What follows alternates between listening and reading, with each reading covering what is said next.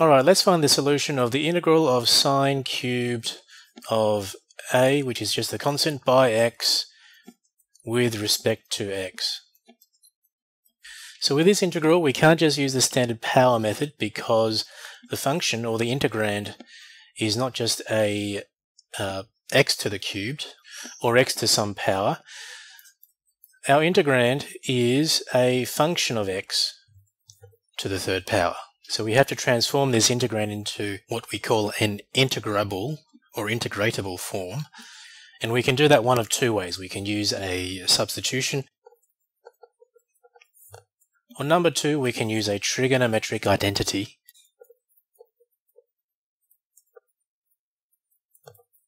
Okay, the two solutions are fundamentally different, but they should produce the same result at the end. So let's have a go at substitution. So with substitution, we are trying to use the reverse of the chain rule. So what we are trying to do is to get the integrand big F of x into the form of big F of x equals g of u by the derivative of u. And we can do that by writing sine cubed of x equals sine squared of x by sine of x Okay, let's not forget the constant a in front of the x's. I'm sorry about that.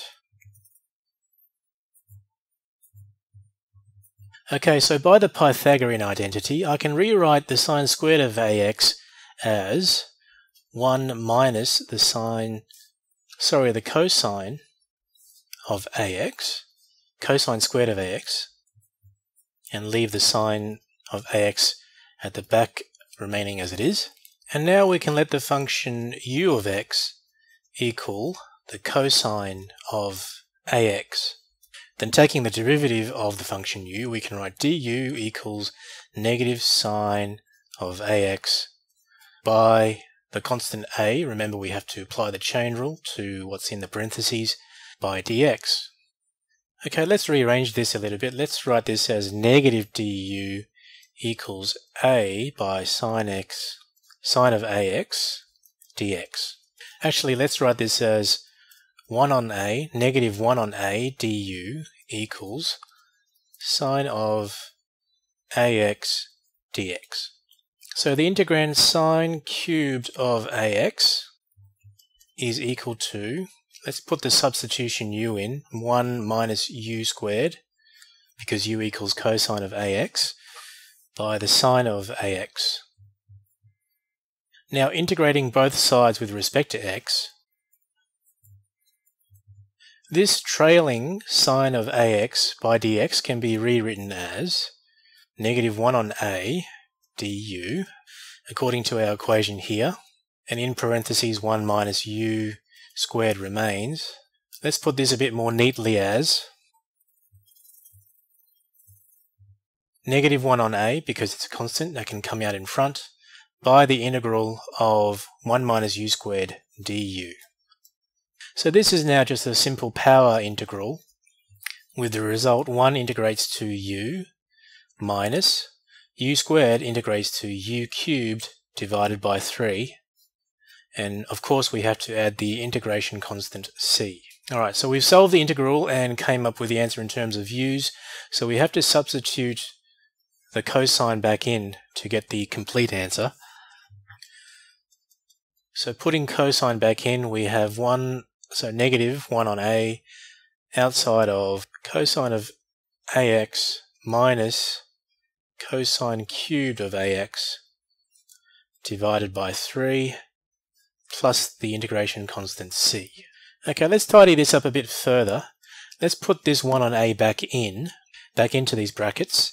So if we do that and expand this in, we have cosine cubed of ax on 3a minus cosine of ax divided by a plus the integration constant c. Okay, so that's the integral of sine cubed of ax using the method of substitution. What about now using the trigonometric identity? Well, the idea behind this is power reduction. So we have the integrand f of x equals sine cubed of a by x.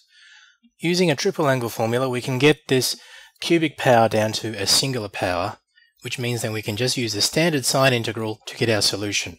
So the triple angle formula is sine of 3 theta equals 3 sine theta minus 4 sine cubed theta. So we'll just substitute the thetas for ax. Now if we rearrange to get this cubic term on its own, we should get sine cubed of ax equals 3 quarters of sine of ax minus 1 quarter of sine of 3ax. Okay, so now we can integrate both sides again with respect to x.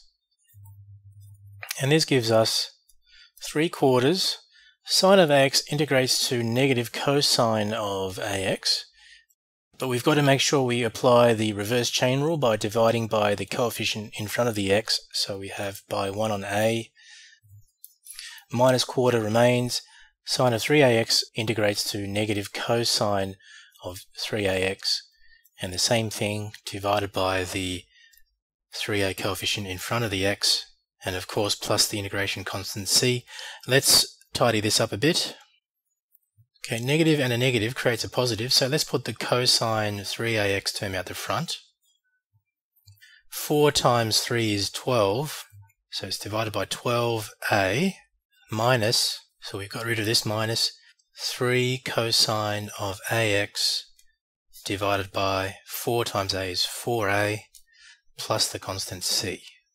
Okay, so for the second method, we got the result, the sine cubed of ax equals cosine of 3ax divided by 12a minus 3 times cosine of ax divided by 4a plus c.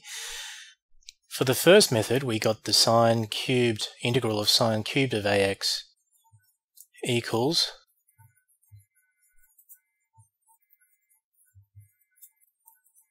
cosine cubed of ax divided by 3a minus cosine of ax divided by a plus c. So are these two equivalent?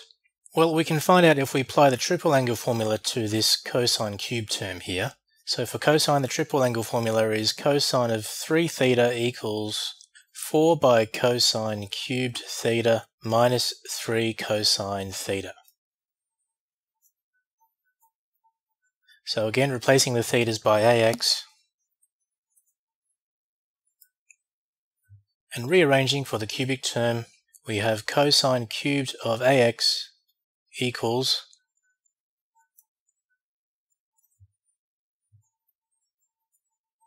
one quarter of cosine of 3ax plus three quarters of cosine ax. So subbing this for the cosine cubed term, we have the integral of the sine cubed of ax equals 1 fourth of the cosine of 3ax plus 3 quarters of cosine ax all over 3a minus cosine of ax on a plus c. Unfortunately, maths can be pretty tedious at times. So this gives us cosine of 3ax on 12a plus cosine of ax divided by a, divided by 4a I should say. So this is simply separating out the two fractions and combining the top and bottom.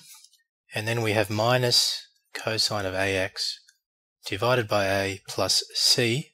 Okay, so cosine of 3ax over 12a can stay as it is. Now if we combine these two, we should end up with 3 cosine of ax divided by 4a. And you can verify this for yourself because we simply need a common denominator for both of the terms, and that means multiplying the top and bottom of the second term by 4.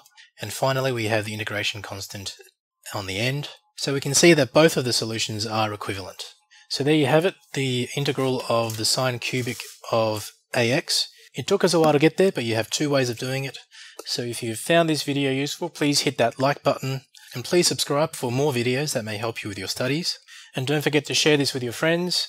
I appreciate any little support that you can give because helping me will help you. So if you're able to tip, the instructions are in the description below. Feel free to ask any questions by using the comment section below. Until next time, best of luck with your math studies and thanks for watching.